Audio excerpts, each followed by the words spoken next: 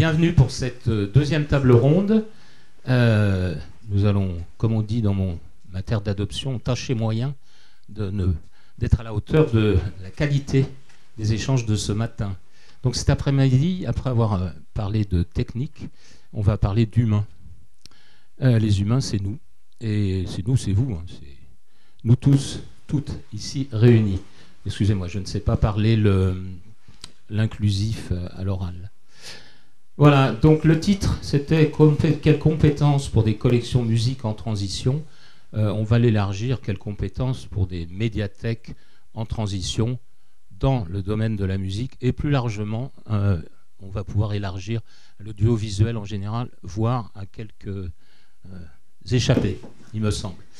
Voilà. Donc vous avez euh, pour vous de droite à gauche nos trois invités. Euh, Cédric qui vient de Penmirabeau dans la métropole euh, ex-Marseille, mais c'est une, il présentera, vous le verrez dans une minute, un, peu plus, je vais faire une introduction, cet, établissement récent et les projets qui ont été développés. Et j'ai demandé à chacun aussi de le présenter sous un angle correspondant au titre, c'est-à-dire rapidement, bien sûr, c'est pas un CV, mais parcours, euh, orientation, formation et comment on développe aujourd'hui des profils euh, multifonctions. On va rester sur des termes comme ça pour l'instant. Voilà. Euh, Laure, ensuite, qui vient de pleine commune, donc c'est dans le 9-3, comme on dit partout en France, sauf chez vous, par exemple. par exemple. voilà, donc autour de Saint-Denis.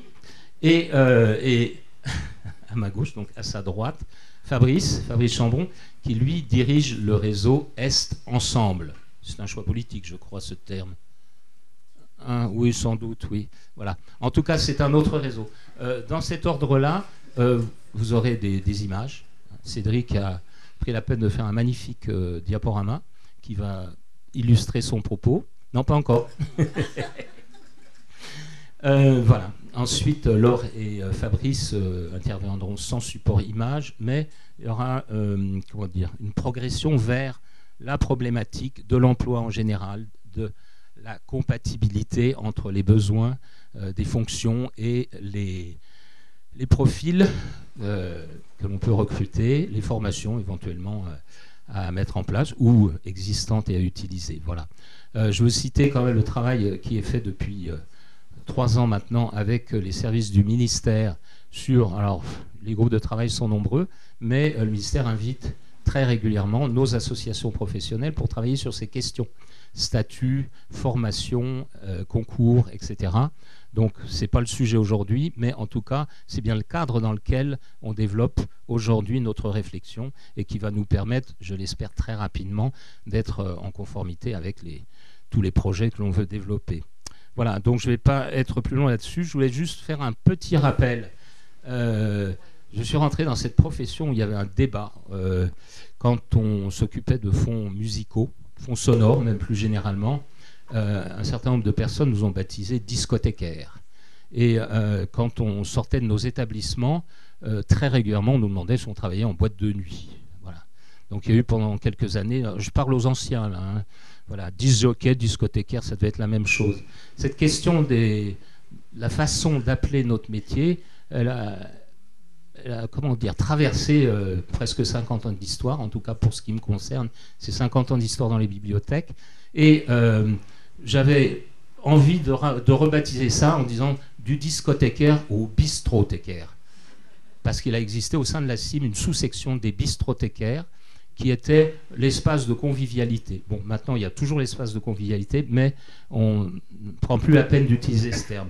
Mais il y en a d'autres. Le plus courant aujourd'hui, c'est bien évidemment bibliothécaire musical, mais euh, vous voyez bien que tous les termes peuvent être réducteurs. Hein, médiateur, médiateur musical, médiateur sociaux, musicaux, euh, psycho, enfin tout ce que vous voulez. Et euh, non, je ne parle pas que de nous, je parle aussi de nos publics. Hein, faut, savoir pour qui on travaille. Et puis je leur ai demandé aussi s'ils pouvaient euh, faire leur présentation en n'oubliant pas que la grande histoire des bibliothèques euh, s'inscrit, même si euh, parfois on l'oublie, dans la grande histoire de l'éducation populaire. C'est-à-dire que nos établissements, nos missions, nous sommes, on pourrait dire dans la fonction publique, comme des organisations, non pas des entreprises, mais des organisations à mission. Et que nos missions, elles sont connues. Euh, celles-là, on ne les oublie pas en général. Ce sont des missions de diffusion, d'information, de formation, d'éducation, de culture, etc., etc. Donc, ces entreprises à mission que sont les établissements publics de lecture publique, avec secteur musique ou euh, mélangeant joyeusement tous ces aspects, eh bien, euh, on va parler de ça maintenant. Et puis, je ne vais pas prendre plus de temps parce qu'il faut garder aussi un temps d'échange avec vous. À toi, Cédric. Alors, on va lancer le diaporama.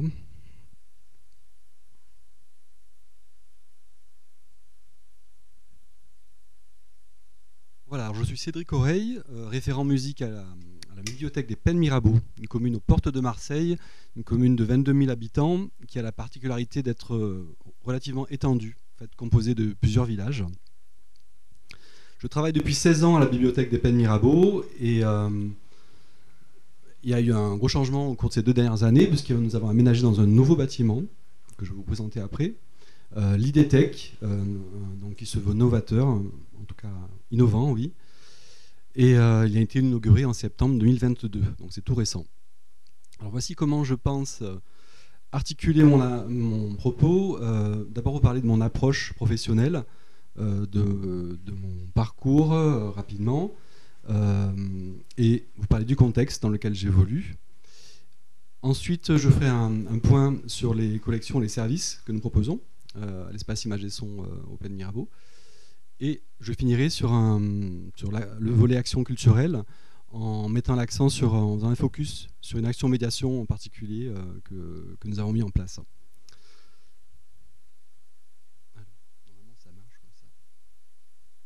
Je vous viens de vous dire. Désolé, c'est pas synchro. Voilà. Alors, vous parlez de mon approche professionnelle. Euh, alors, je, peux les énoncer en trois points qui me caractérisent. D'abord, j'ai des appétences pour la médiation. Euh, mon premier métier, euh, ça a été médiateur du livre pour la Ligue de l'enseignement, donc un mouvement d'éducation populaire. Donc, c'est après avoir suivi une formation en IUT métier du livre, j'ai eu cette première expérience euh, professionnelle en fait, donc sur Marseille, sur des, euh, donc, travailler sur des projets de développement social urbain, avec des, euh, projets donc, de développement de la lecture écriture sur des quartiers, des quartiers centre-ville de Marseille et puis un autre quartier plutôt mal loti aussi à Saint-Mauron. donc je dois dire que c'est une expérience donc, de 5 ans, mais qui m'a nourri après dans mon approche professionnelle en bibliothèque, donc ça fait 16 ans que je travaille en bibliothèque municipale maintenant. Et euh, donc euh, avant, j'ai ces 5 ans d'expérience qui, euh, qui, m'ont nourri en fait. Voilà. Et puis au, cours de, ces, ces premières 5 ans d'expérience, j'ai passé un brevet d'état d'animateur technicien de l'éducation populaire, donc qui a été complémentaire avec l'IUT du coup. Voilà, donc vous dire que j'ai en charge le fonds musique aussi depuis une dizaine d'années, donc au Mirabeau. Un deuxième point que j'aime bien mettre en avant, parce que c'est central pour moi, c'est super important, ben, je suis musicien aussi. Et euh, je ne vais pas hésiter en fait à utiliser mes aptitudes musicales euh, si elles peuvent être mises au service des médiations que nous mettons en place. Voilà, alors pour rentrer après un peu plus dans le contexte, je dirais que je, n'agis pas de manière isolée. Le, micro fait un peu. Ça va? Ouais, Ça sature, j'ai l'impression. Donc je n'agis pas de manière isolée, donc euh, je travaille en binôme euh, sur l'espace image et son avec euh, ma collègue Elsa Miras Ferro qui est présente à ces rencontres, qui est juste là. Voilà. Et les actions que nous menons sont intégrées donc au projet global de la bibliothèque, qui est elle-même insérée dans une structure dont j'ai parlé tout à l'heure, l'IDTech, une structure qui est à la fois multiservice et multi-activité. Donc cette structure, je vous la montre maintenant. Voilà à quoi elle ressemble, donc toute récente, inaugurée en septembre 2022. Elle mélange, elle mélange services publics et services privés, et entreprises privées, pardon, activités gratuites et payantes dans des domaines allant du culturel au loisir. Alors c'est un, lieu euh, qui est attractif, euh, lumineux, chaleureux, alors tout fait avec beaucoup de, bois notamment, et des vitres, et qui propose différents espaces pour différents usages. Notamment, nous avons un auditorium, j'en parlerai un peu plus tout à l'heure, un restaurant sur place, un espace geek et différentes salles donc, où sont proposées des activités physiques, activités artistiques et créatives. Alors la bibliothèque elle-même est répartie sur les trois niveaux du bâtiment. Et en fait, il y a trois niveaux. Il y a un niveau qu'on ne voit pas là sur la photo, mais et le bâtiment lui-même a une surface de 2000 m2 à peu près. Alors vous aurez la possibilité d'avoir une présentation plus complète demain lors des poster sessions euh, de l'IDTech, euh, donc de ce lieu. Je vais simplement mettre l'accent sur, euh, deux, deux espaces qui sont utilisés pour la musique, en dehors de notre espace image et son. Donc c'est l'auditorium et le théâtre de verdure. Donc nous avons sur place un auditorium de 96 places assises.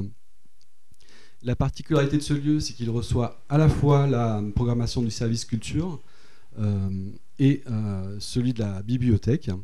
Donc euh, ici passent des concerts, des, conférences, des spectacles, des auditions aussi. Donc ce lieu, il est aussi utilisé du coup par l'école de musique.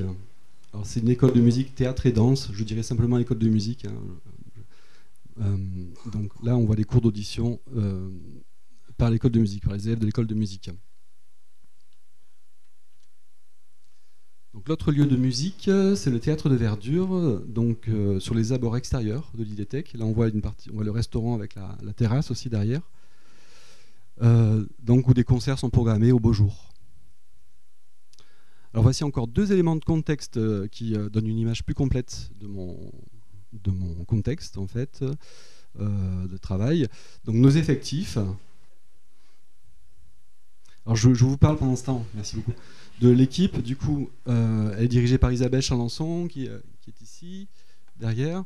Donc, euh, catégorie A, nous avons deux catégories B, six catégories C. Et c'est une équipe qui est renforcée actuellement par une étudiante alternante en BUT métier du livre. Voilà. Et donc, la bibliothèque, nous sommes neuf là, plus un avec cette étudiante. elle est ouverte quand même 54 heures hebdomadaires et 58 heures hebdomadaires de novembre à mi-février, parce que nous sommes ouverts les, dimanches après-midi aussi sur cette période. Ah. Donc, je ne sais pas si on y arrive. Je pense qu'il a un peu planté. Euh, le, ah. le, PowerPoint, il fait 200 mégas. Et je ne connais pas les ressources de Stordy, mais il y a moyen que ça ait juste euh, Oups. Merci. Bon, je, je, poursuis. Donc, des effectifs plutôt réduits, en fait, et euh, des larges plages euh, horaires ouverture. Donc, nous sommes beaucoup mobilisés pour l'accueil du public. Euh, et cette configuration induit aussi qu'on est, en fait, on n'est vraiment pas à temps plein sur notre espace image et son avec Elsa. Hein. Et par ailleurs, nous cumulons plusieurs casquettes. Voilà, alors j'en arrive à mon deuxième point, la musique à l'IDTech, un tour d'horizon des collections et des services. Je poursuis, donc voici notre espace image et son.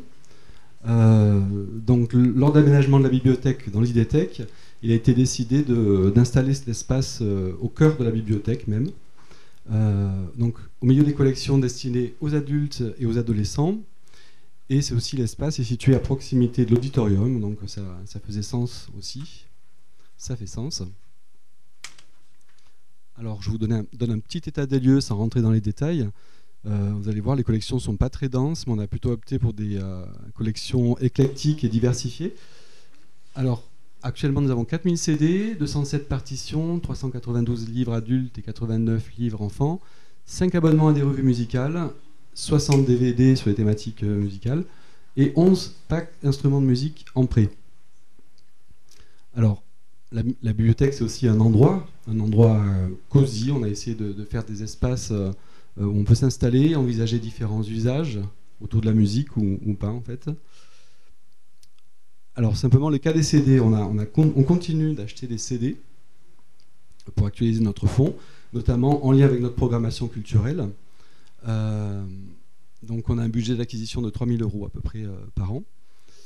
Et alors on fait quand même face à deux bémols sur place. Le premier, c'est les espaces de rangement qui ne sont pas forcément très adaptés. Euh, ils ne proviennent pas d'une entreprise spécialisée en fait pour les bibliothèques. Et l'autre bémol, nous n'avons pas de réserve. Alors on essaie de sortir les collections régulièrement en faisant, comme vous le faites j'imagine, des, tables thématiques en lien avec notre programmation culturelle. Donc voici une, et on voit un peu, mieux aussi l'espace avec le, poste d'accueil du coup à gauche aussi. Et une autre sélection. Je vous parlais maintenant des services. Et à commencer par le prêt d'instruments. Donc le prêt d'instruments, dont je le disais, 11 packs d'instruments, parce qu'ils sont prêtés en, pack avec une méthode et leurs accessoires. Donc l'objectif, voilà, faciliter, euh, la pratique musicale amateur. Alors, ce, ça représentait un budget d'investissement de 4000 euros quand même. On a opté pour des instruments milieu de gamme de qualité. J'ai l'impression qu'il faut un peu le, micro. Non? Ça va? Donc euh, voilà, pas des, instruments d'entrée de gamme, quand même milieu de gamme, dans un magasin euh, local, de musique locale, qui propose aussi des, révisions en fait euh, de, l'instrument, des instruments. On va bientôt élargir notre offre en, achetant davantage de percussions, en lien notamment avec notre action de médiation Les instruments font leur show, dont je vous parlerai ensuite. Donc les modalités de prêt, je passe très vite, mais euh, euh, c'est un prêt indirect. On n'a pas d'espace pour stocker les instruments pour les montrer au public. On les montre dans un encart dédié sur notre site euh, internet. Et puis ils sont présentés sur place sous forme de fantômes, accompagnés d'un classeur où on détaille chaque pack. Là on ouvre le classeur, on a la guitare électrique par exemple, avec son pack. Donc le prêt est soumis à la signature d'une charte chez nous. Euh, le pack de prêt est prêté euh, pour 4 semaines, comme les livres. Et l'emprunt et le retour se fait sur rendez-vous uniquement. Ça permet de prendre le temps euh, de faire l'état des lieux en fait, l'instrument, du pack, et de discuter avec les emprunteurs aussi. Voilà. Donc nous sommes surtout trois dans l'équipe à, faire les prêts-retours. On est quand même toute l'équipe est, est, ok avec des procédures quand même, mais on est surtout trois à faire ces, transaction. C'est comment dire Pré-retour. Alors voici encore deux services qui invitent là des usages sur place. Donc nous avons un piano numérique disponible donc sur simple demande. On demande simplement le, la carte d'adhérent en fait. Il faut être adhérent, mais l'adhésion est gratuite. Hein. Et euh, donc les gens peuvent jouer au casque jusqu'à 17h30. Et puis on propose euh, pour ceux qui veulent aussi, comme dans les gares, d'enlever le casque en fin de journée. Voilà. On prête également, on en a parlé ce matin, voilà, des lecteurs CD euh, avec casque. Donc là, c'est pareil, sur simple demande, euh, on a, un, parc de 10 lecteurs CD portatifs euh, qui sont à disposition du public et qui sont assez demandés. Donc le dernier service que je vais évoquer, c'est notre offre numérique. Donc nous avons opté pour la Philharmonie de Paris à la demande. donc cette offre est accessible depuis le portail de la bibliothèque. Euh, on a, les notices euh, sont intégrées à notre SIGB Orphée, donc les gens peuvent faire une recherche depuis notre portail. Alors il y a quand même deux bémols que je vais dire pour cette offre, mais qui sont dus à notre euh, implantation actuelle, notre configuration en fait. Donc le chemin pour y accéder est très long sur notre site internet, c'est pas intuitif, donc c'est quelque chose qu'il faut qu'on améliore. Et puis d'autre part, on n'a pas d'ordinateur ni de tablette sur place qui permet de montrer cette offre, de la rendre visible et de faire des médiations en fait aussi. Donc j'en arrive à mon troisième et dernier point, l'action culturelle autour de la musique, et que je conclurai par un focus donc sur une action de médiation. Les instruments font leur show. Donc je vais commencer par le rendez-vous le plus récurrent, c'est une fois par mois, donc justement projection de la Philharmonie euh, de Paris à la demande. On profite d'avoir un bel, auditorium euh, pour diffuser, voilà, un peu comme le cinéma, avec une belle image et un bon son. Euh, cette offre et de la rendre du coup visible, essayer de pallier un petit peu ce manque de, visibilité que j'évoquais tout à l'heure. Alors, projection gratuite euh, chaque mois, et ce mois-ci, c'était avec Kelly James, donc euh, dans le cadre, donc un rappeur dans le cadre du Printemps des Poètes, toujours en lien avec notre programmation. L'action culturelle, c'est aussi des animations variées pour tous les publics, l'éveil musical, ici avec les tout petits, des conférences avec Nassim Dji euh, qui anime des conférences mixées, c'est un ancien DJ et euh, c'est très très intéressant, son, son approche. Euh, ou encore des spectacles musicaux.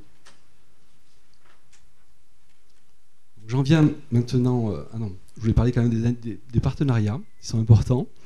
Donc ce sont nos animations euh, s'étoffent, s'enrichissent grâce à des partenariats notamment, notamment avec l'école de musique dont je vous ai parlé, mais qui, voilà, qui est sur place aussi, et qui a aussi un, lieu à part, mais qui donne des cours de formation musicale dans l'auditorium et qui, qui, est présent sur place, et la bibliothèque départementale des Bouches-du-Rhône. Alors pour l'école de musique, la bibliothèque travaille depuis euh, déjà plusieurs années euh, sur de multiples projets. Ils se sont accentués euh, depuis notre implantation à, l'IDTEC. La, notre proximité de, la proximité de nos services a facilité cette, ce rapprochement, en fait, bien sûr. Alors, exemple en, en, image d'un projet, par exemple. Donc un concert lecture. Donc ça, nous, nous l'organisons deux fois par an. Euh, voici ma collègue Elsa Miracero en photo qui est là aussi. Donc le principe des concerts lecture, c'est qu'on voilà, on va mêler des textes littéraires lus à voix haute et euh, des moments de musique vivante. Du coup, on s'associe à, l'atelier jazz de l'école de musique et, euh, l'atelier de chant aussi. Donc on a, choisi par exemple deux, thématiques. La première c'était l'amour autour de la Saint-Valentin en 2022 et cette année c'était le thème de la gastronomie voilà, une autre photo, on voit un peu plus les musiciens derrière. Voilà. D'ailleurs, je fais partie aussi des musiciens. Euh, voilà. Mais une autre collègue qui lit des textes. Donc, cette année, la gastronomie, puis on a construit comme un, menu au restaurant, en fait, de l'apéritif au digestif, tant dans les textes que les titres choisis, interprétés. Et euh, à cette occasion, c'est aussi associé au restaurant de l'IDTEC, le Midori, donc, euh, pour proposer une, dégustation à l'issue de la représentation une autre animation en partenariat avec l'école de musique, les démonstrations euh, d'instruments. Donc, ce partenariat s'exprime notamment au cours d'une journée baptisée On bouge ensemble euh, au mois de juin, donc euh, près de la, fête de la musique. Et donc cette journée, il y a différents ateliers qui sont disséminés dans l'IDTEC. et on propose à des groupes d'enfants et d'adolescents donc de tester, alors, qui sont drainés par les centres aérés, avec un partenariat aussi avec les centres aérés, de tester les instruments et d'en faire la démonstration. Alors nous, réitérons cette proposition aussi en septembre à la rentrée, euh, mais cette fois en l'ouvrant à tout public et euh, sans l'école de musique cette fois-ci. Alors vous voyez, les démonstrations se font soit en binôme, en, duo ou en, trio. Euh, voilà, essentiellement nous sommes trois donc sur, sur cette action.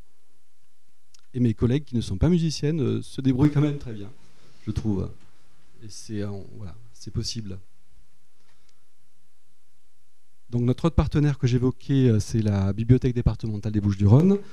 Euh, donc on bénéficie euh, de documents et d'animations aussi. On fait partie du réseau. Ici, on avait accueilli une exposition Girls, le rap au féminin. Voilà.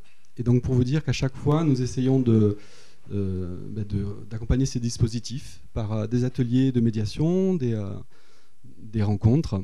Donc ici, on avait fait intervenir euh, Tressim Beatbox, qui est euh, double vice-championne de France de beatbox.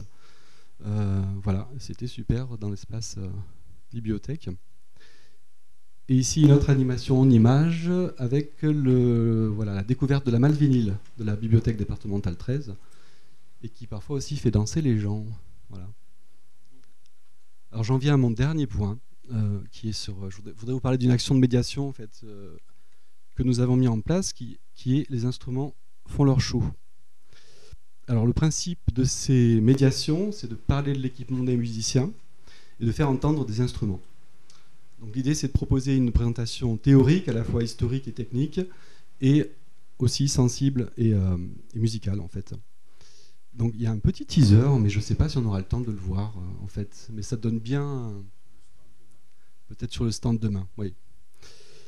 Alors, pour vous dire quand même que je fais intervenir un, musicien autodidacte qui est un, passionné aussi, c'est quelqu'un de, très calé en musique, mais qui ne vient pas des sphères forcément institutionnelles ou éducatives.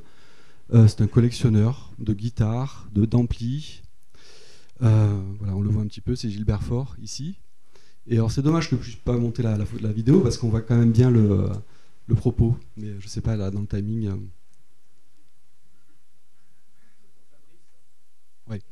Alors on en parlera demain. Donc le public ciblé, pour vous dire, c'est un format qui dure à peu près deux heures en fait quand même, euh, où on va mêler euh, des moments live en fait une conférence illustrée par des, extraits de CD avec des artistes dont on a envie de parler. C'est vraiment sous le prisme de l'équipement des musiciens.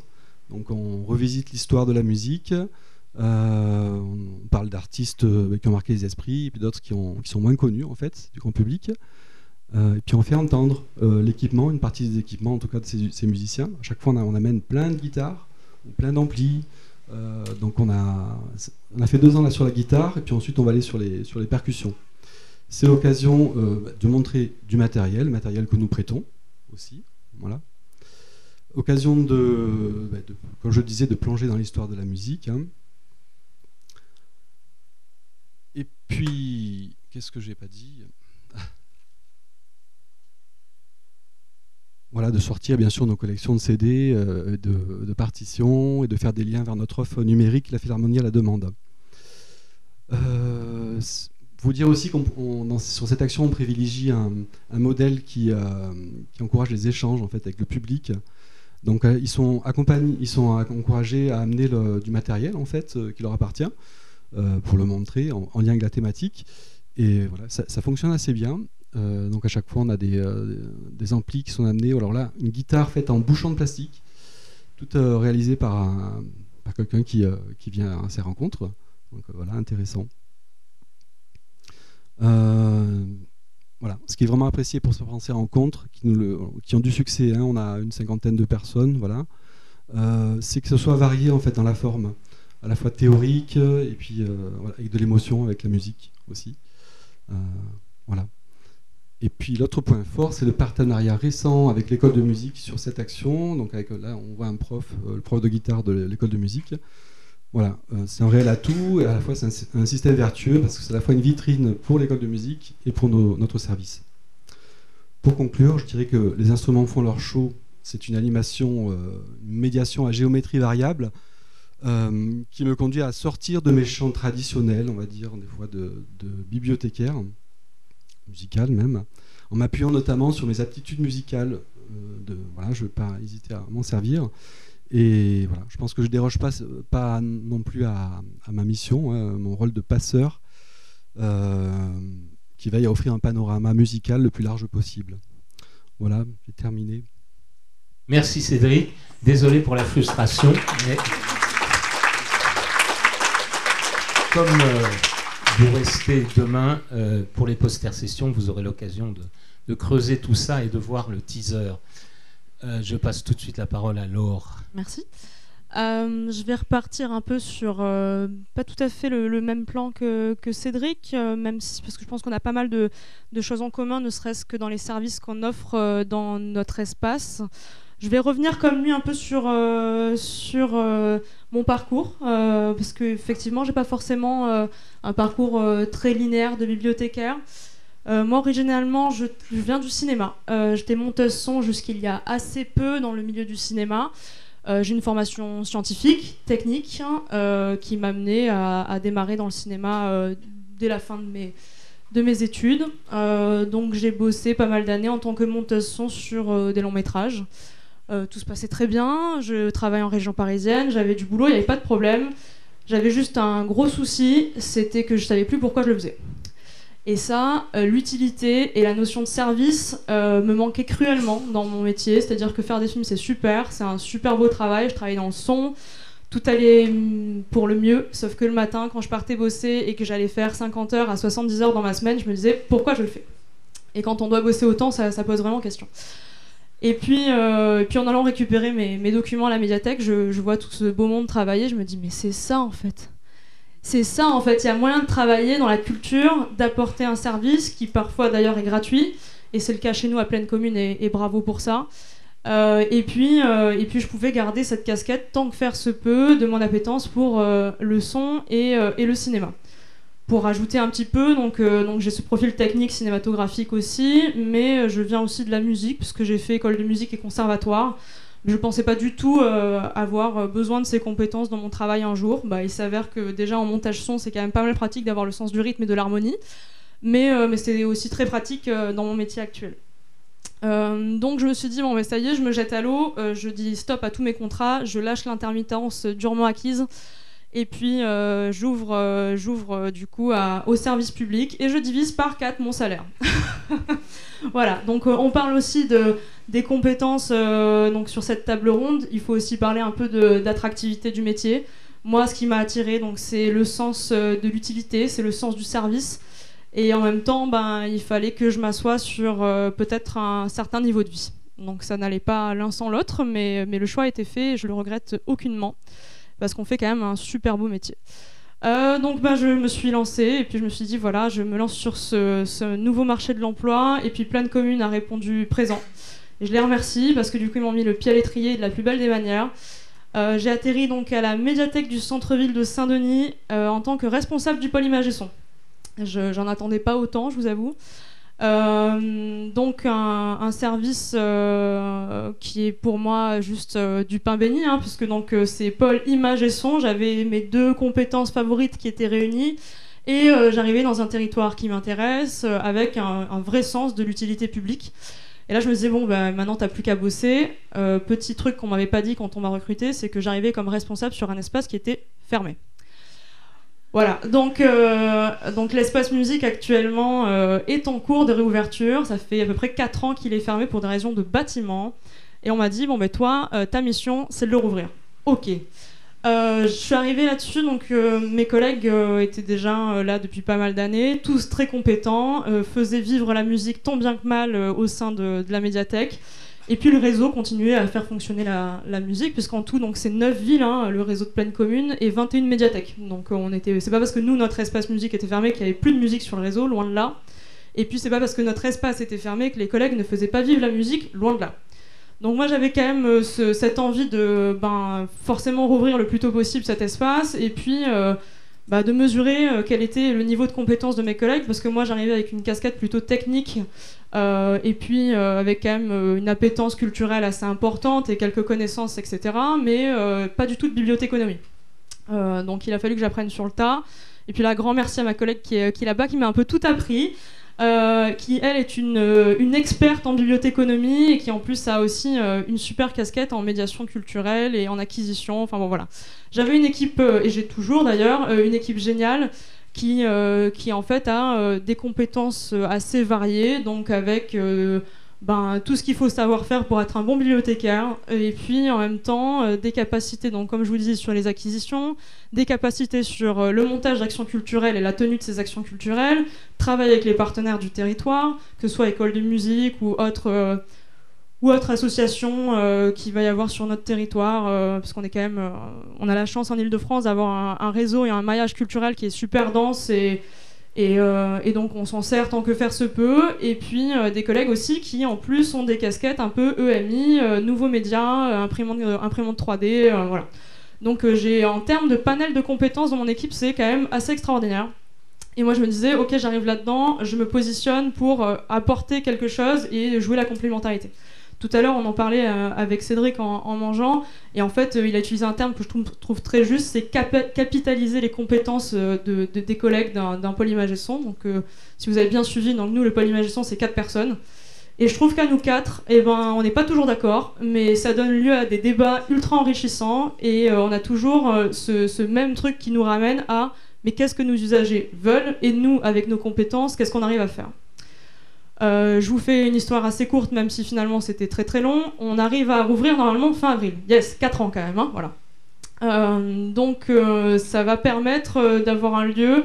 Donc là, je vais un peu paraphraser ce qu'a dit Cédric, parce que finalement, en termes de services, on se retrouve pas mal, même si on a des collections un peu plus conséquentes que ce qu'il peut y avoir. Mais, voilà, de toute façon, c'est à l'échelle du réseau, à l'échelle de notre territoire, de la population. voilà, donc on connaît tous ces enjeux-là.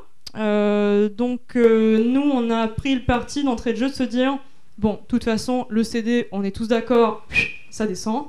Ok, qu'est-ce qu'on fait maintenant? On veut pas jeter toutes ces collections parce qu'on a des pépites, parce qu'on veut réussir à, sortir de ce locked-in dont on parlait ce matin et puis se dire qu'est-ce qu'on fait nous euh, quand nos usagers eh ben, ils peuvent aller glaner sur internet des milliers d'informations et des nouvelles découvertes musicales, qu'est-ce qu'on veut leur apporter nous avec nos CD et avec bien d'autres propositions eh bien c'est peut-être un peu de pluralité, un peu de curiosité, un peu euh, d'échange, un peu de pratique musicale, et peut-être un peu de tout ça à la fois. Ça va décloisonner la pratique musicale qu'on fait maintenant chacun avec nos écouteurs ou nos AirPods, chacun dans son coin sur son Spotify, son Deezer ou son YouTube.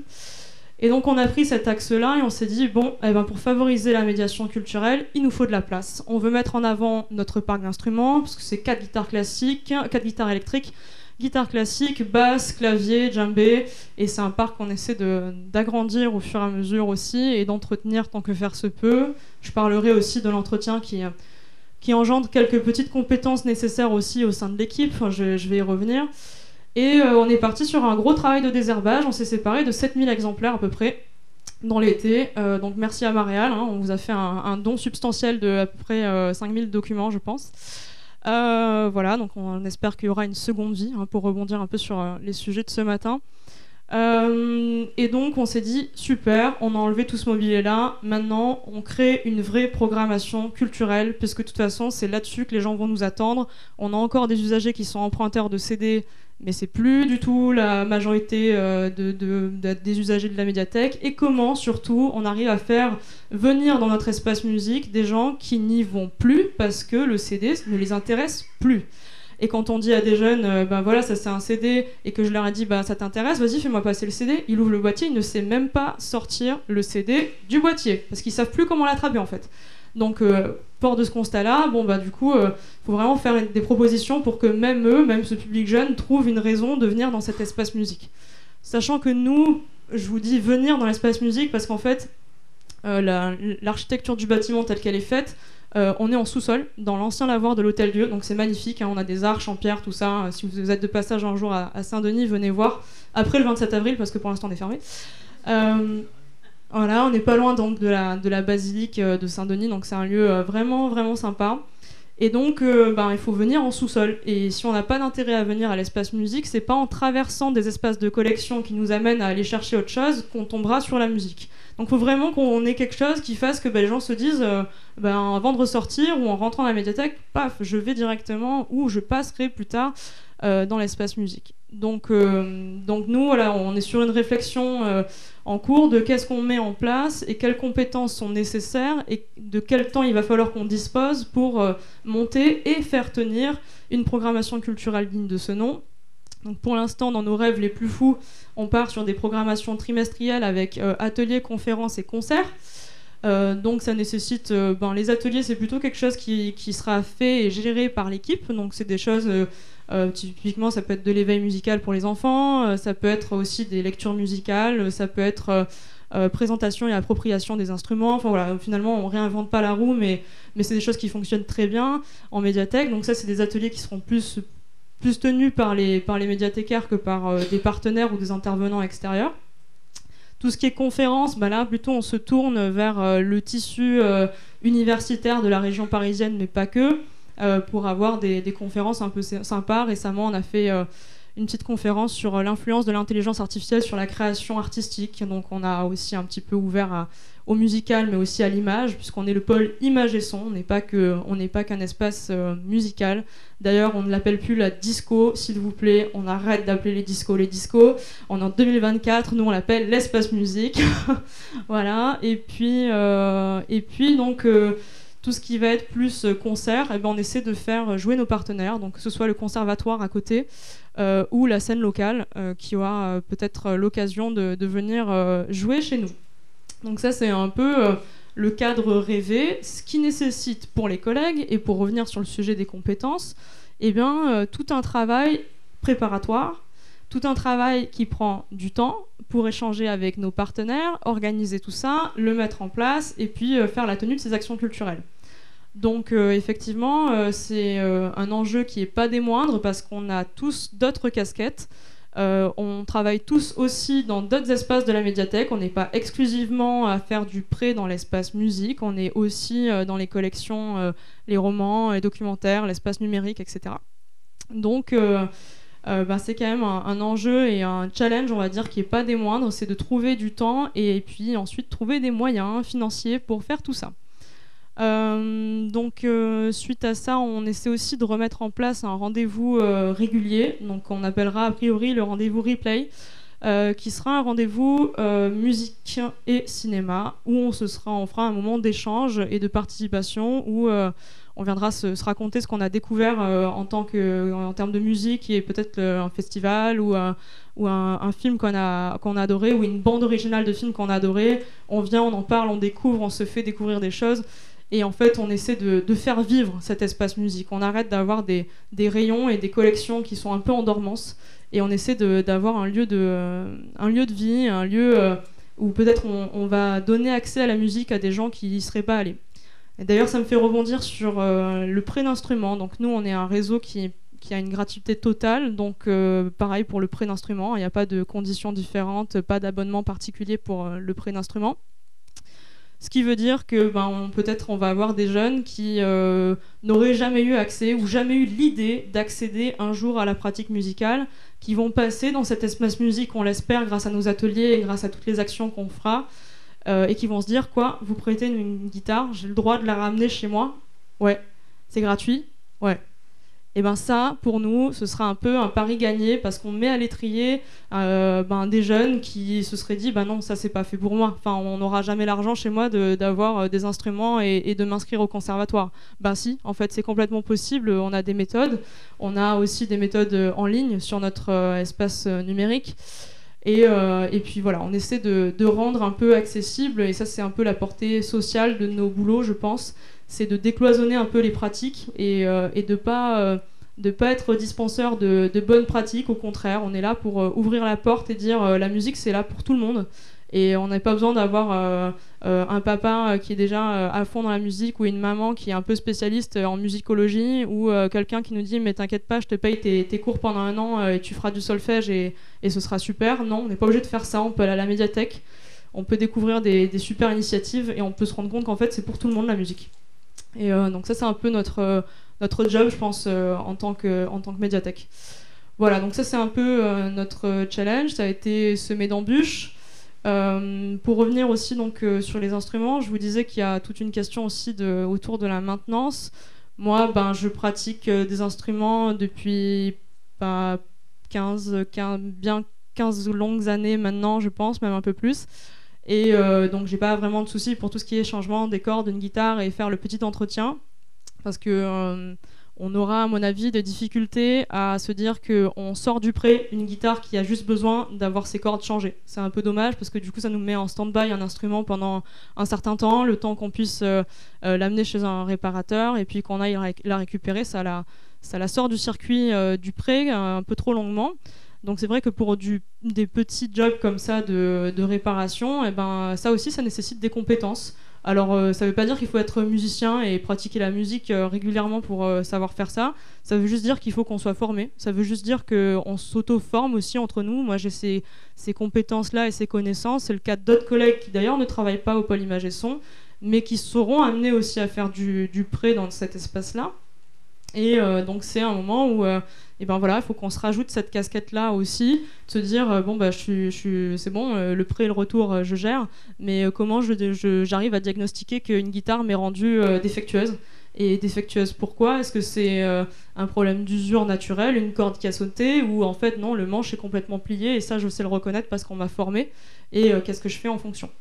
Donc voilà, pour, pour parler un peu de, de, tout ce qui est compétences, je suis le cas le cas type de euh, je viens pas des bibliothèques, mais on peut apprendre des choses un peu euh, au fil de l'eau, et à l'inverse, on peut être euh, arrivé d'une formation typique du circuit des bibliothèques, et puis développé par nos appétences personnelles, ou, par la formation de nos collègues, ou par de la formation au cours de notre parcours professionnel, des casquettes supplémentaires qui nous amènent plus vers des métiers de médiation et d'animation. Euh, donc euh, ça, c'est quand même assez positif, ça, ça, en dit long sur la capacité d'évolution de nos métiers. On parle de transition, bah, moi je trouve ça plutôt positif. Euh, on s'adapte aux usages et aux nouvelles pratiques de nos publics. Et, et je pense qu'on arrive avec la force de réseaux comme la CIM, avec les systèmes de formation existants, et puis avec la capacité de travail des uns et des autres, et le fait de travailler en groupe, mais aussi de travailler en réseau, à se nourrir d'expériences et de compétences qui sont euh, nécessaires à, cette, transition euh, de nos métiers. Donc voilà, après je, développerai peut-être pas forcément plus sur euh, tout ce qu'offrent les médiathèques de pleine commune, parce que je, vais un peu paraphraser ce que, ce que dit Cédric. Nous aussi, on a le service de philharmonie à la demande, nous aussi on fait du prêt d'instruments, de CD, on a des coins d'écoute, etc. mais pour moi, c'est plus vraiment ça qui est extrêmement important, ou du moins c'est plus c'est plus l'axe majeur. Je pense que pour moi, la nécessité vraiment, c'est de se dire comment aujourd'hui, en médiathèque, on fait vivre la musique et on diversifie nos publics. Et, euh, cet enjeu-là, il n'est pas forcément facile à saisir parce que même nos usagers, à part les plus habitués qui, qui empruntaient déjà des CD, n'ont pas forcément la réponse. Ils ne savent pas exactement nous dire, nous, on attend ça de vous. Euh, donc euh, c'est aussi à nous de repérer un peu quelles sont les, attentes parce que nous, on a un public euh, d'anciens emprunteurs de CD qui n'attendent qu'une chose, c'est qu'on réouvre et qu'on redonne l'accès à nos 14 000 et quelques euh, CD et, nos, partitions et méthodes. Mais eux, on sait que c'est un public entre guillemets acquis. Enfin, il n'y a pas de souci, ils étaient là avant, ils empruntaient déjà du CD, on n'a pas désherbé la totalité de notre catalogue, ils reviendront. Euh, mais juste comment on fait pour intéresser d'autres personnes à venir chez nous et à emprunter, à échanger, à pratiquer et à parler de, de, toutes les initiatives proposées dans la médiathèque? Eh ben, c'est à nous euh, de, faire un petit peu bouger nos lignes, euh, c'est à nous de faire évoluer un peu notre, notre métier et nos casquettes pour nous rendre intéressants et puis pour euh, proposer quelque chose qui, attirera ce public-là en, médiathèque. Voilà, j'ai peut-être fait ça de façon très dense, je ne développe pas plus sur le réseau parce que de toute façon vous êtes les bienvenus et puis que priori même si on fait tous des choses très différentes, il y a beaucoup de choses qui se, qui se recoupent. Euh, mais, voilà, si ça, génère des questions par la suite, euh, n'hésitez pas à, en poser. Voilà. Merci Laure.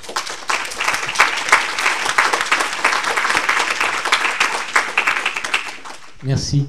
Et juste avant de, passer la, parole à Fabrice, euh, moi j'ai bien entendu justement ce passage. On a beaucoup parlé de la polyvalence dans les bibliothèques, ça a même fait des, des grandes, ça a créé des grandes tensions à certains moments. C'est-à-dire considérer que en voulant casser les secteurs, euh, les, silos dans lesquels fonctionnaient certaines bibliothèques, la polyvalence a été souvent un sujet de conflit. Alors que là, on parle plutôt de pluridisciplinarité, c'est-à-dire de la complémentarité, euh, non pas sur des, tâches quotidiennes, mais plutôt sur des compétences à mettre au service du projet de l'établissement.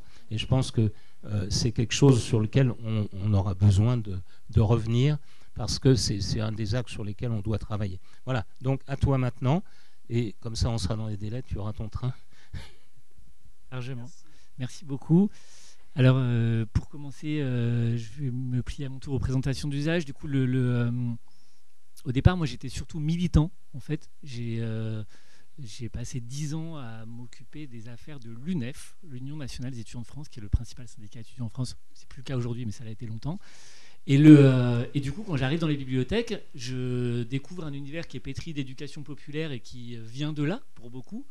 Et, euh, et j'y trouve un intérêt parce que c'est un outil qui permet de contribuer à transformer le réel dans le sens de moins d'inégalité, de euh, l'accès de tous aux horizons culturels les plus variés, aux cultures sous toutes leurs formes. Et voilà ce qui fait que je me sens bien dans les bibliothèques et que j'y passe une, grande, une grosse dizaine d'années aussi parce que j'atterris en Seine-Saint-Denis dans les bibliothèques de Montreuil euh, qui euh, s'inscrivent euh, pleinement dans cet héritage-là et avec des exécutifs locaux qui, grosso modo, en Seine-Saint-Denis, pardon, et des exécutifs locaux qui, globalement, en Seine-Saint-Denis, appuient ce type de démarche et s'inscrivent volontiers, là encore, dans des, des, perspectives d'éducation populaire et de transformation sociale.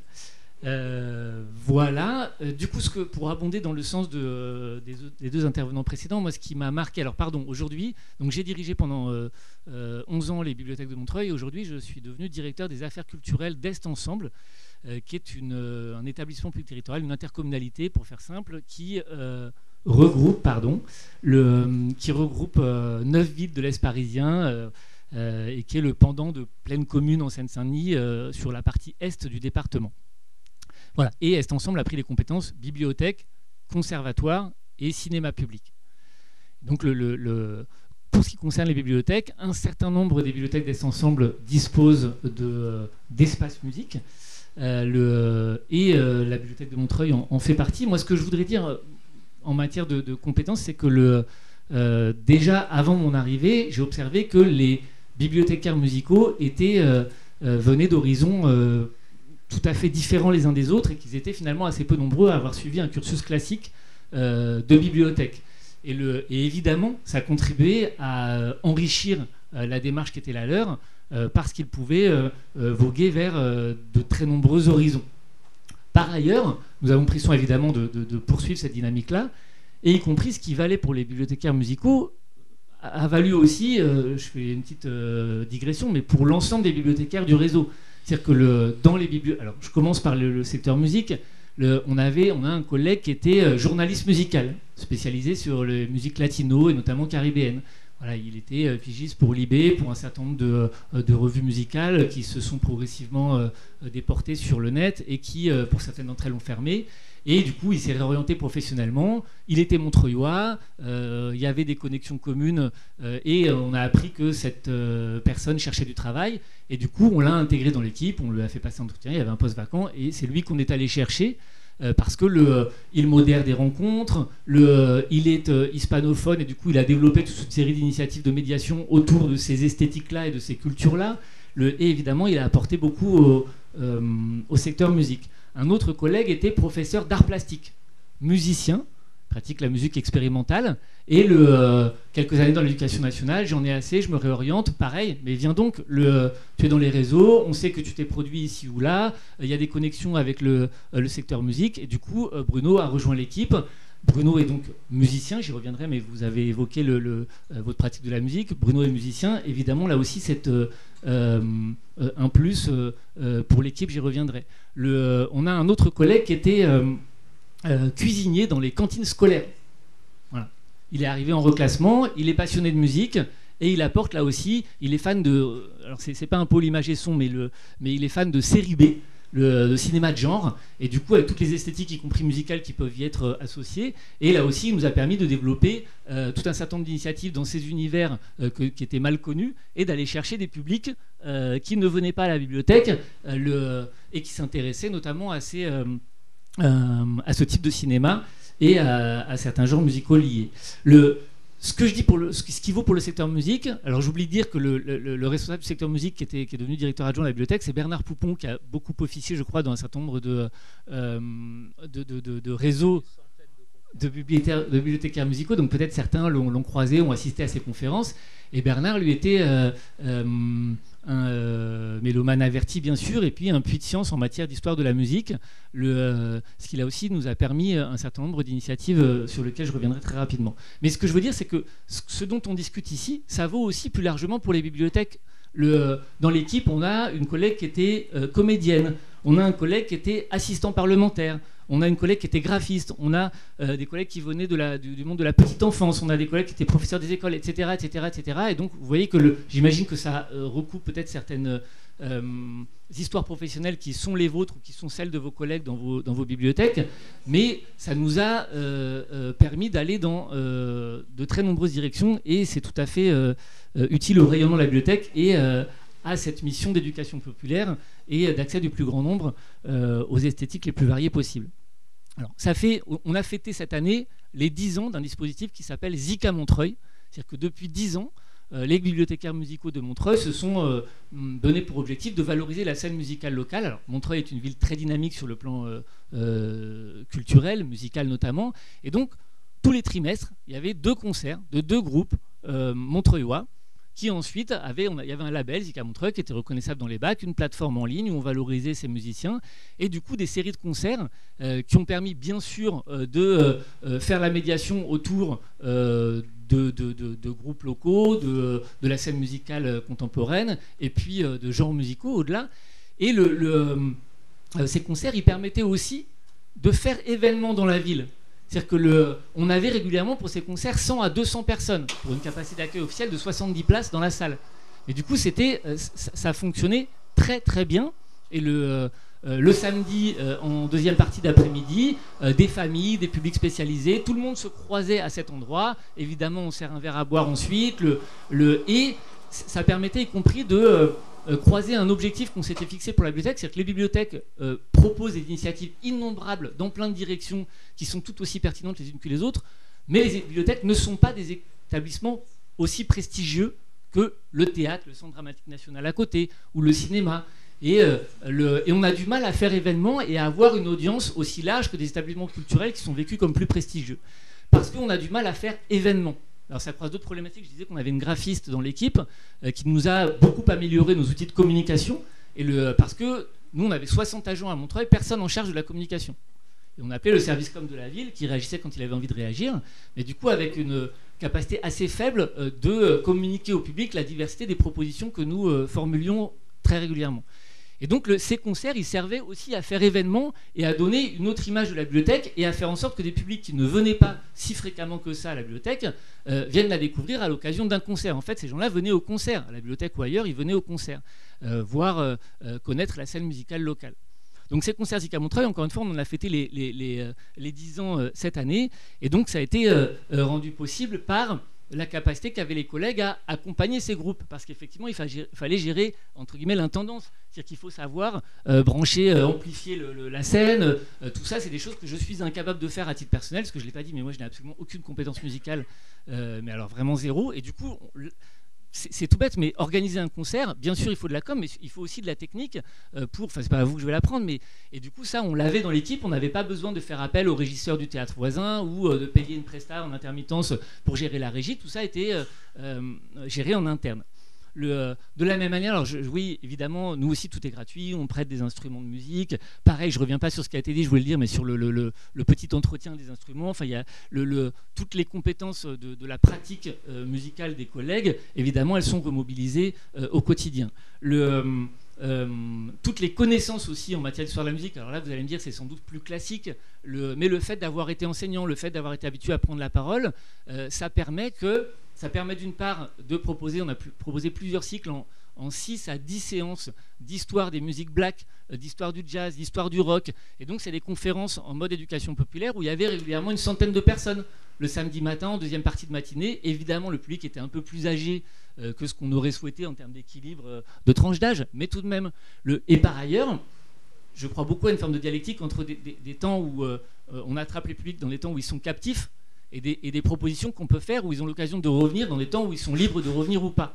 Et évidemment, le fait d'avoir euh, des compétences musicales, des compétences en matière de pédagogie, euh, à travers la présence de certains enseignants ou de comédiens qui savent prendre la parole en public, ça permet aussi d'avoir des, dispositifs d'éducation artistique et culturelle en propre, gérés en interne sur les. Je parlais euh, du collègue qui spécialise les musiques latino. Bah, du coup, quand il va dans les classes sur des cycles de 3 ou 4 séances, faire partager ces univers musicaux-là, évidemment, il fait mouche. Et quand un mois plus tard ou deux mois plus tard, il y a une initiative tout public, une conférence à la bibliothèque, eh ben on voit des ados qui ont participé à ces initiatives qui viennent se mêler au euh, public un peu plus âgé euh, qui fréquente euh, plus naturellement ce, type d'initiative.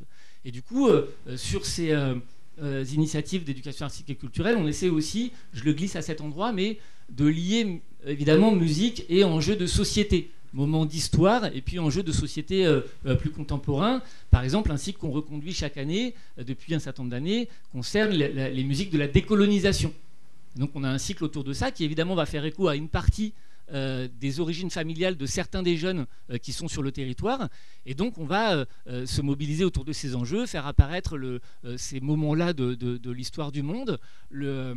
Et donc, y compris aborder des sujets très contemporains comme les discriminations, les enjeux des coloniaux, etc. etc. de la même manière, chaque année, par exemple, des classes réécrivent Carmen souvent c'est l'occasion de faire découvrir Carmen, bien sûr. Mais on réécrit Carmen. Et du coup, je vous laisse imaginer les discussions au début des séances, et c'est quelque chose qui se fait sur, là aussi sur euh, plusieurs séances, parce que euh, euh, au départ se posait la question quand même de savoir si Carmen est une salope ou pas. Et, le, et, du coup, on réécrit Carmen. Certains sortent un rap sur Carmen, d'autres écrivent de des poèmes, etc. Et le, il y a une petite restitution, mais à chaque fois, c'est l'occasion d'aborder là aussi des questions de société, l'égalité femmes-hommes auprès des jeunes, et puis de faire découvrir un patrimoine musical et d'avoir une forme de pratique, puisqu'on cite beaucoup l'éducation populaire. L'éducation populaire, bien sûr, on vise l'émancipation et l'épanouissement par l'accès à la culture, aussi par la pratique euh, culturelle. Et donc à chaque fois qu'on peut lier accès à des horizons culturels et pratiques culturelles, évidemment, on s'engouffre dans la brèche. Et ça, c'est possible parce qu'on a des collègues qui sont en capacité de porter ça.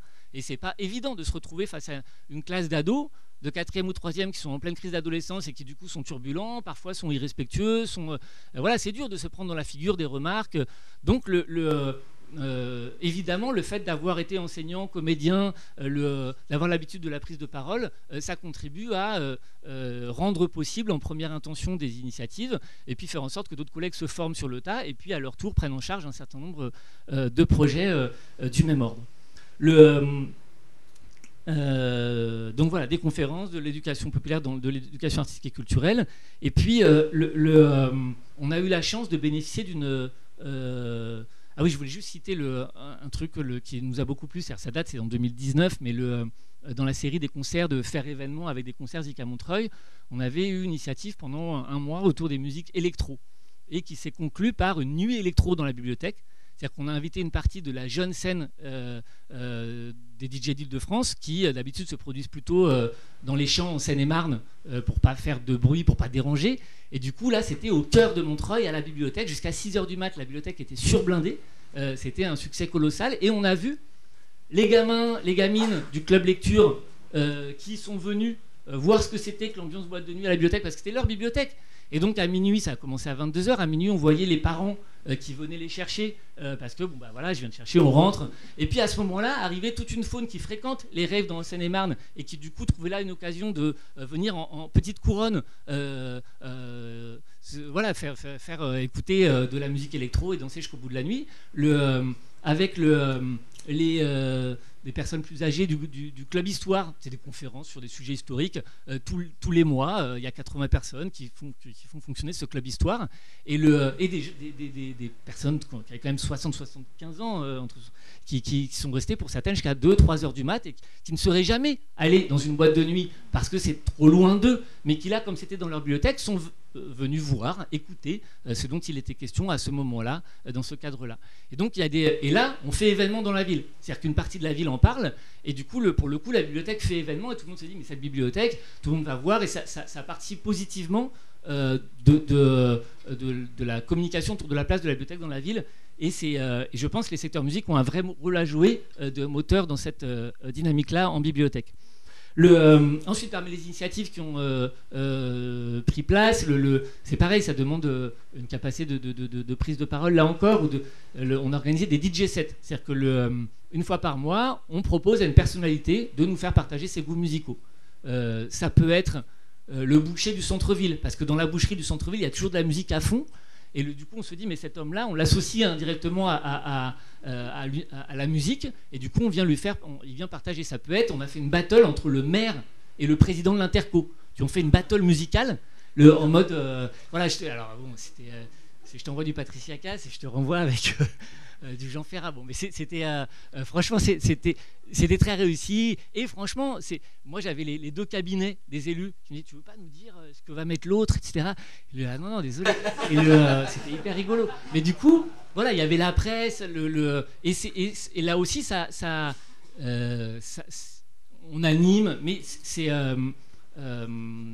ça, comment dire, ça diversifie l'offre de la bibliothèque et c'est à chaque fois autour de la musique. Euh, et, je trouve. Euh, et voilà, je voulais le citer. Ensuite, on a eu des travaux, on a eu la chance d'avoir des travaux pendant deux ans, on a été fermé, alors ça a duré que deux ans, nous. Et euh, on a eu une bibliothèque éphémère dans une, dans une boutique du centre-ville, bon bref, peu importe.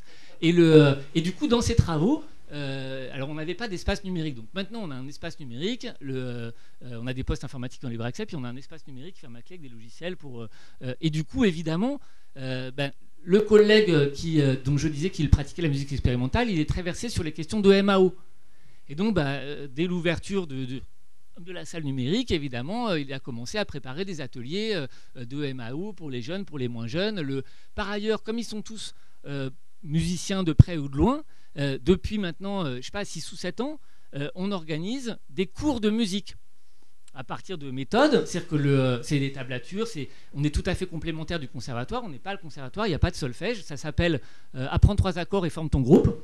Voilà, c'est 6 à 8 séances où on vient euh, apprendre les bases de la guitare et du piano, parce que les collègues savent jouer de la guitare et du piano.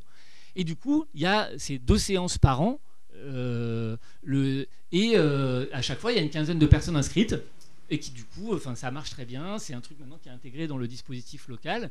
Et, le, et ça, c'est pareil. Il faut, euh, il faut des compétences pour savoir faire ça. On ne peut pas s'improviser euh, le, prof de musique ou de guitare, même si encore une fois, on n'est pas prof de, de, au conservatoire. Et c'est pas du tout l'objectif. Le, et puis, dans, cette, dans ces travaux, on a souhaité mettre en place un studio de répétition dans la bibliothèque, un lieu de pratique musicale. Et du coup, euh, entièrement équipé, c'est gratuit, tout est gratuit.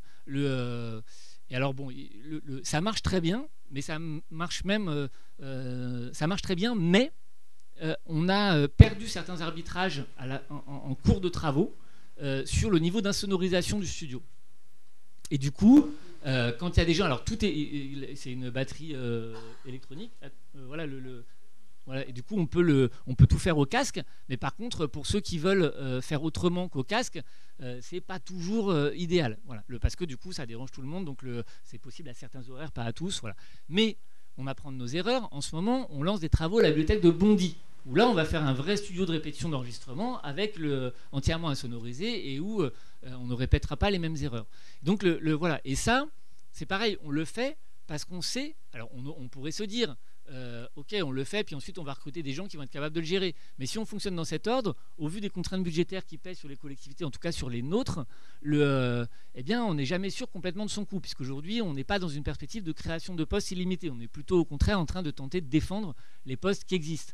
Et, euh, et donc là, le fait de savoir qu'il y aura les compétences pour pouvoir gérer euh, le parc instrumental pour pouvoir gérer le studio, pour pouvoir accompagner euh, des, usagers qui, découvriraient euh, cet univers à cette occasion et qui ne seraient pas familiers de l'usage de tels lieux, évidemment, ça rassure et ça permet de se lancer dans l'aventure sans, crainte et avec d'autant plus d'entrain. Donc voilà, aujourd'hui ce studio existe, il va y en avoir un second à Bondy.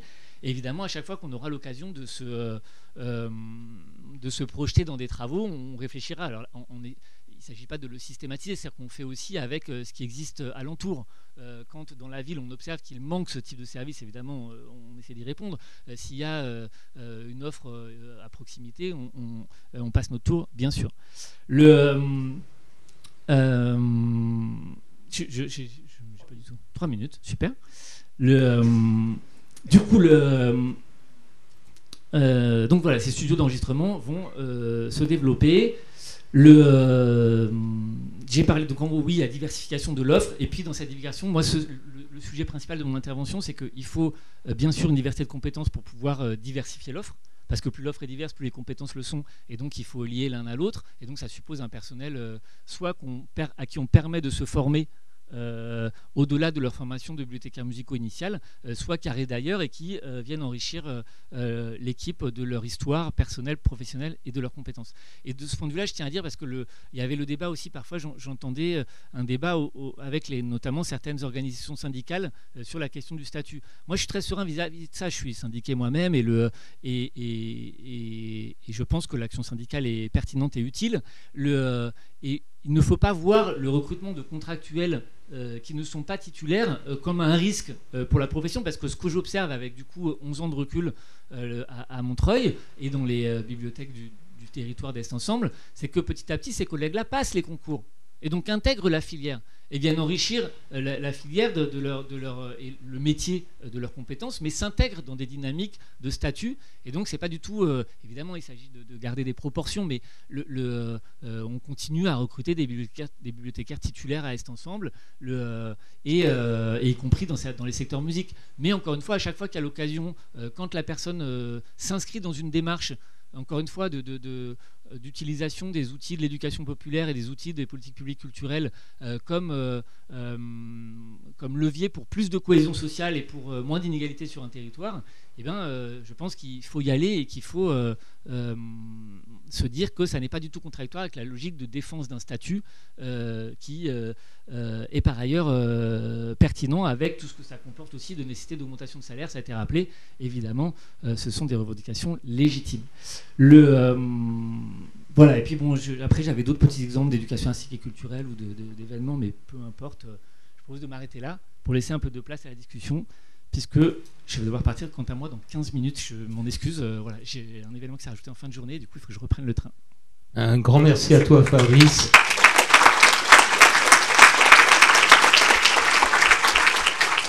Alors, faire l'aller-retour juste pour euh, passer deux petites heures avec nous. Euh, merci d'avoir terminé ce, ce, tour présentation. Moi, j'ai apprécié ce, crescendo parce qu'on est vraiment dans quelque chose de musical et en particulier d'avoir abordé la question du statut de l'emploi parce que je connais beaucoup d'équipes euh, qui apprécient d'avoir ces compétences et ces qualités qui viennent enrichir euh, ce côté pluridisciplinaire et qui en même temps peuvent être crispés sur le fait qu'il y a une crainte parce que euh, est-ce qu'on va pas perdre le métier de bibliothécaire dedans? Donc c'est très bien de le poser là et de ne pas le poser comme une crainte mais comme un enrichissement et que tu rappelles aussi que ça n'est pas incompatible d'avoir une démarche syndicale de défense de l'emploi public et d'intégrer les fameux nouveaux profils qui sont utiles et dont on voit tous les jours le profit, y compris pour ceux qui défendent un modèle plus traditionnel de lecture publique. Voilà, je ne veux pas faire plus pour la transition. Est-ce qu'il y a des premières mains qui se lèvent? Et je vais me lever pour transmettre le micro. Là. Oui, en fin de compte, euh, la question des compétences euh, pose la question des qualifications. Et en fin de compte, euh, le métier, enfin, la, fonction publique est structurée sur. Enfin, le statut est, basé sur la reconnaissance des qualifications. Et en fin de compte, les organisations syndicales militent pour ça. Et Montreuil abrite le siège de la CGT, la CGT défend ça. Donc, voilà. ce qui, le problème dans la profession, c'est qu'il n'y a plus de formation initiale. Donc, en fin de compte, il y a une problématique pour reconnaître les qualifications qui n'existent plus. Donc en fin de compte, euh, le système actuel repose sur les compétences des gens, mais je pense que, comment dire, ça ne peut être que limité parce qu'en en fin de compte, on fait en fonction de ce qu'on a sous la main.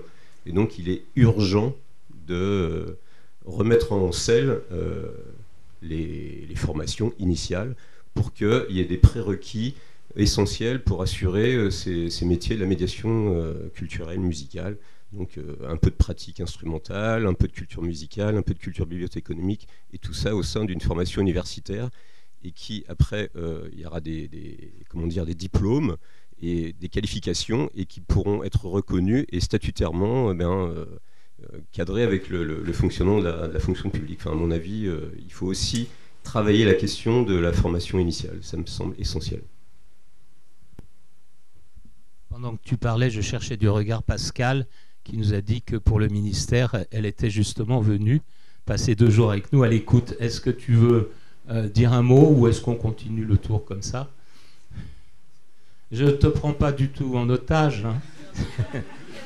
voilà, c'est juste pour rappeler que euh, euh, voilà, nous avons effectivement depuis, allez, on va dire depuis le Covid, ça s'est vraiment bien bien inscrit dans nos pratiques. le ministère nous sollicite justement pour pointer à la fois les choses à développer, les choses à peut-être remettre en place. Il ne s'agit pas de réinventer euh, ce qui a été, euh, comment dire, ce qui a disparu, mais au moins de faire correspondre aux besoins actuels les euh, formations, celles qui sont dispensées ou celles qu'il faudrait mettre ou remettre en place. Voilà, donc je crois que ça c'est un, des points qui va rester de nos rencontres d'Orléans cette année. Hein, c'est d'avancer dans cette cohérence. Et euh, auparavant, ça ne veut pas dire que c'était mieux avant, c'est-à-dire que les formations, que ce soit le CFB ou euh, même les premières moutures des, centres de formation en région, euh, ont toujours essayé de faire pour le mieux, sans qu'on ait forcément un, cadre de formation parfaitement adapté, d'autant plus que, vous le savez bien, nous sommes en évolution ou en transition selon le, choix des termes. Voilà, je vois toujours pas de, de doigts se lever, assis, voilà. Tu as été moins rapide, ce sera plus après. Alors, avant que les formations se remettent en place, je voulais savoir quelle était la part euh, budgétaire que vous accordez à toutes vos animations. Est-ce que c'est un glissement euh, du budget acquisition que vous faites euh, porter désormais sur les animations? Je comment. C'est pas forcément euh, le cas pour, euh, euh, les autres intervenants qui sont autour de moi. nous, en l'occurrence, comme je vous disais, on a désherbé assez conséquemment notre, fonds, que ce soit de partition de méthode, mais bien sûr aussi de CD, à profit d'espaces de médiation culturelle. on continue à acquérir des CD pour renouveler notre, notre, nos collections. En revanche, on n'a pas vu d'augmentation de notre budget d'action culturelle. Donc il faut faire plus avec la même chose. Voilà. Alors nous, au Pen Mirabeau, on a un budget 21 000 euros en fait sur euh, l'action culturelle. Et la musique, on doit en utiliser un tiers à peu près à, l'année. Et après, il y a des actions comme celle-ci que je viens de présenter où en fait on utilise aussi les, ressources euh, sur place. Quoi. Enfin, on, fait intervenir euh, Gilbert Faure qu'on rémunère et puis on, utilise les ressources de la bibliothèque, en l'occurrence moi. Oui, nous, précisément, oui, on a réaffecté des budgets de collection vers les budgets d'action culturelle. Alors, je n'ai pas le détail pour la musique. Euh, on était, quand je suis arrivé, à 30 000 euros d'action culturelle sur un budget de 350 000 euros annuel pour les bibliothèques de Montreuil. On était à 30 000 euros. Quand je suis parti, on était à 100 000 euros sur l'action culturelle. Et on avait euh, diminué le budget de, des collections et puis le budget aussi d'équipement. On n'avait plus d'antivol, on, on a fait des économies aussi là-dessus. Et pour la musique, je crois qu'ils étaient à 30 000 euros. Il y a 40 000 CD dans les bibliothèques de Montreuil. Donc là, une partie du coup maintenant est en réserve et il y avait 30 euh, 000 euros de budget quand je suis arrivé. Il n'y en avait plus que 20 000 sur les collections. Euh, quand je suis parti, je crois qu'on en est resté à peu près à cet étiage-là. Euh, je voulais revenir sur la question de la formation. Peut-être en insistant aussi sur la formation continue, parce qu'on ne peut pas conditionner des projets ou des initiatives à des opportunités de recrutement, mais aussi à la formation des personnes qui sont en place. Et je pense que c'est peut-être ça le, plus important, quoi. Oui, c'est pas du tout. Vos interventions sont complémentaires, c'est pas du tout contradictoire. Euh, ah mais je ne rentrais pas en contradiction. et le, euh, moi, je partage votre distinguo entre évidemment compétences et qualifications. Et évidemment, c'est les qualifications qu'il faut défendre. Euh, les qualifications, elles, elles, permettent d'acquérir des compétences multiples, mais euh, de manière euh, sécurisée, cadrée. Et donc, il faut, euh, il faut évidemment utiliser ce vocabulaire-là. Vous avez raison de, vous avez raison de nous reprendre. Le, après, le, bien sûr, il faudrait une formation initiale et il faut voir dans quelle direction il peut être travaillé. Il y a des, filières universitaires qui sont quand même développées depuis 20 ou 30 ans qui euh, ne sont pas spécifiquement liées aux bibliothèques, mais qui permettent d'enrichir quand même la, dynamique métier. Et je pense qu'il faut euh, se féliciter de cette évolution-là, euh, même si ça ne règle pas tout. Et vous avez raison de poser cette question. Et après, la formation continue, oui, tout à fait. Le, je ne sais pas quelle est votre expérience. De mon côté, j'avais l'impression qu'il était très très difficile d'accéder aux formations du CNFPT quand elles existent. parce que tout le monde se les arrache. les budgets de formation des collectivités, là aussi, ne vont pas forcément en augmentant. Mais euh, euh, évidemment, il faut avoir une attention très grande et, au maximum se, donner les moyens en interne de sa collectivité pour euh, obtenir le maximum de, dynamique de formation en, interne. Je fais juste une aparté parce que vous, avez indiqué que la CGT était à Montreuil, le siège national de la CGT est à Montreuil. Du coup, je ne résiste pas. Je, vous invite juste tous le, le dimanche 28 avril euh, S Ensemble a mis en place une saison consacrée aux danses urbaines, qui fait la part belle à la musique. Hein. Euh, le, euh, et du coup, le 27 avril, l'histoire est très belle, c'est pour ça qu'elle me plaît beaucoup. Le, le, 28 avril, pardon, il y aura une battle internationale de breakdance dans la CGT qui nous ouvre ses portes pour l'occasion. Ce sera ouvert à tout public dans le patio avec des drones qui vont filmer en direct pour ceux qui ne pourront pas venir. vous pourrez le suivre en direct le, sur Internet et le, avec atelier de graphes, atelier de danse hip-hop et battle international. Parce que la veille, non, mais là, c'est dans la CGT, dans le bâtiment. Et on est en avril, on n'est pas encore en pleine période JO. Et du coup, le, euh, il se trouve qu'il y a l'étape internationale du circuit de break qui a lieu à Nanterre la veille. Et du coup, on a toutes les plus grandes stars euh, de la danse hip-hop qui seront à cet endroit-là. Et figurez-vous que l'association qui co-organise ça avec nous, qui s'appelle Box Crew, d'accord, c'est des jeunes qui ont entre 20 et 23 ans, le, qui viennent des quartiers de Montreuil. Le, la dernière fois que je les ai vus, j'avais un rendez-vous à la mairie, je leur ai demandé qu'on se voit à la bibliothèque qui est juste à côté de la mairie parce que ça m'arrangeait. On rentre dans la bibliothèque et il y a Anis qui me dit ah bah, c'est marrant que euh, vous nous filiez rendez-vous ici parce que c'est la première fois que je me suis produit en public, c'était ici. Parce qu'il y avait la soirée des ados de la bibliothèque où on rencontre un certain nombre de projets chaque année, c'est une boom, il y a 200 ou 300 ados et à chaque fois on dit s'il y en a qui ont des talents et qui veulent les partager, allez-y.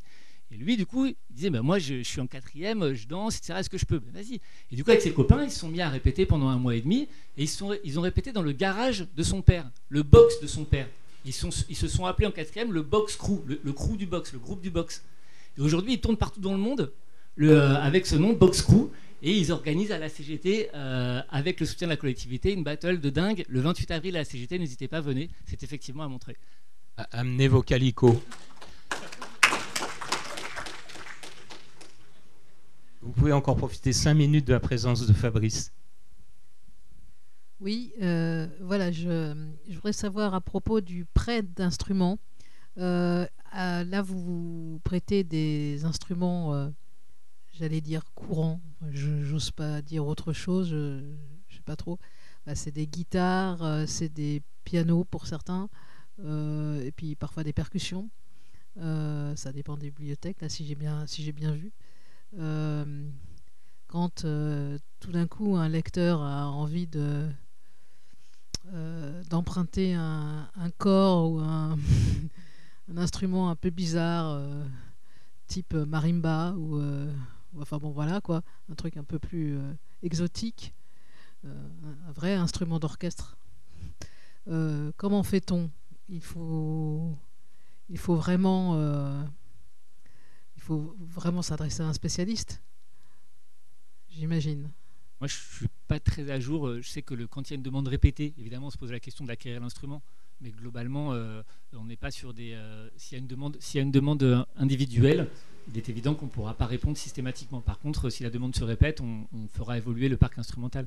Mais je ne peux pas dire précisément ce qu'il y a. D'ailleurs, à ce sujet, je vais peut-être rebondir tout de suite et, puis faire un peu de pub aussi pour un rétex de la CIM qui a eu lieu il n'y a pas très longtemps, où en fait il y a une super présentation de, du parc d'instruments de Lyon, euh, qui a été extrêmement bien présenté, et d'ailleurs aussi de la, BD du Morbihan. Je vous invite à, regarder, ça, ça, donne pas mal de réponses.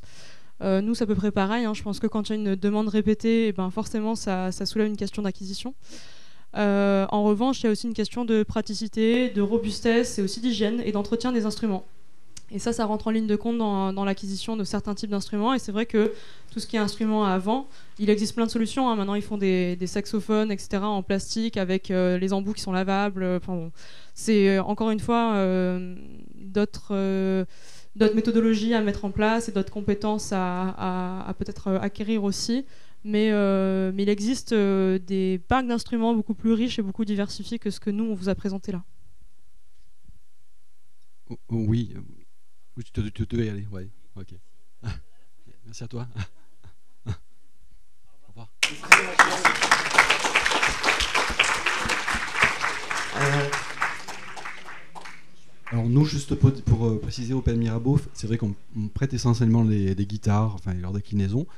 Et on, alors Lyon, effectivement, c'est exemplaire, hein, parce qu'ils ont un parc de 70 instruments, je crois, ou 80, enfin quelque chose euh, assez énorme quand même, les critères voilà, d'hygiène, effectivement, je, te rejoins. Euh, il faut, faut qu'on puisse les emporter aussi. Il euh, ne faut pas que ce soit non plus trop volumineux, trop lourd. Euh, voilà. Alors je disais des guitares et on prête aussi quand même un trombone et une trompette, mais en plastique, du coup, voilà, qu'on peut laver à l'eau et à l'eau savonneuse, quoi. Voilà. C'est la dernière question et ensuite on vous présente les ateliers. Voilà, à toi Dora. Merci d'avoir fait la pub des rétextes. Hein. Euh, moi, je m'interrogeais euh, sur, euh, sur ton équipe parce que tu disais que, que vous aviez été 4 ans sans espace et où ils arrivaient à faire vivre la musique sans ça. Et moi, je, suis restée un peu sur ma faim sur qu'est-ce que justement ils organisaient pour faire vivre la musique. Alors, euh, bah, deux axes principaux. Le premier, c'est que tant que faire se peut et avec les moyens du bord, il y a une partie des collections euh, musicales qui ont été montées dans d'autres espaces. Donc ça a été un sacré travail euh, de gestion parce qu'on s'est retrouvé avec un fond éclaté entre, entre deux espaces. Donc une partie des collections qui étaient donc disponibles au public au milieu de nos BD d'ailleurs. Euh, donc, euh, ce qui n'était pas plus mal finalement, parce que peut-être que des gens qui ne venaient pas euh, voir nos collections CD, mais qui venaient peut-être plus pour nos BD, se sont dit bah tiens, qu'est-ce que c'est que ça? Ah, je savais pas qu'il y avait de la musique ici, c'est cool. donc c'était quand même un peu de, un peu de, un peu d'organisation, tout ça, parce que ben, le matin pour faire la réservation, on ne sait pas si le document est en bas ou s'il est en haut. Enfin c'est un peu, faisait double, double travail, mais en tout cas, ça a été un travail de longue haleine qui a été mis en place par les collègues et qui a été maintenu euh, jusqu'à tout récemment quand on a redescendu les collections pour faire le travail de désherbage. Euh, voilà. Et puis, euh, deuxièmement, parce qu'on a la chance d'avoir une salle d'activité qui n'est pas dans l'espace musique. Et donc, ça permet d'avoir une salle où on pouvait continuer à faire des activités liées à la musique, que ce soit des lectures musicales ou autres, euh, dans cette salle d'activité. Euh, qui du coup euh, pouvait accueillir euh, de- des événements de ce, type-là. Alors après, évidemment, nous on a la chance d'avoir un espace musique, comme je vous disais, en sous-sol, donc un ancien lavoir en pierre, etc. Ce qui nous permet quand même, une fois qu'on sera rouvert, de faire un peu plus de bruit, de faire des activités relativement bruyantes, sans avoir des problèmes de, comment dire, de conflit d'usage. Euh, ce qui pourrait être le cas si on veut faire un concert euh, dans la salle d'activité qui n'est pas très loin des collections et quand on vient chercher ou euh, euh, un roman ou se concentrer pour réviser quelque chose, si à côté il y a un groupe de rock qui, joue ou qui répète, c'est un peu chaud. Donc là, le, problème sera résolu, mais en tout cas, les collègues ont, été force de proposition et très courageux pendant cette période de, fermeture pour, pour continuer à faire vivre les collections et à valoriser la musique dans notre médiathèque. Voilà, il me reste à remercier chaleureusement nos trois invités. Merci Cédric, merci Laure, merci Fabrice qui doit m'entendre sur le chemin de la gare. Vous avez bien compris que c'est un, un sujet qui n'a pas fini de nous accompagner, euh, en tout cas pour nos prochaines rencontres. Et entre deux,